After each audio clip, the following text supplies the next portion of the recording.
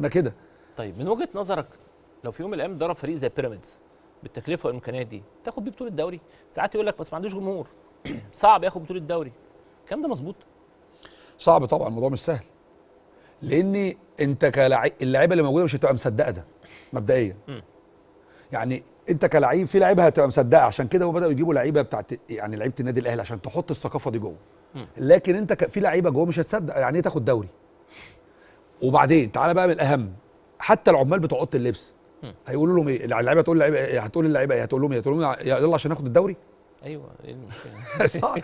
هم مش مش مصدقين ده كابتن سيف. الم- العم يعني حتى عايز بعد أقول إيه؟ الصفقات الجديدة. المنظومه المنظومة كلها يعني حتى بعد فتحي رمضان شريف اكرام طبعا الفلوس يعني دول اللي هيبقوا جامدين جدا. هيبقى مم. فرقة جامدة جدا. هم أصلا فرقة جامدة جدا. أنت لعيب فرقة شرسة في الملعب. مم. أنت بتلعبهم بلعبهم مع المصري. فرقة بتحسب مليار جنيه بتلعب. بتلعب. فاهم؟ فالموضوع صعب. فانت مين اللي هي مين اللي هي مين اللي هيخش. مع دول؟ انت عارف أكنك أنت راكب عربية بورش وبتحاول أنت معاك عربية صغيرة بتجري بيها. مع يعني إمكانيات كبيرة. بس أنا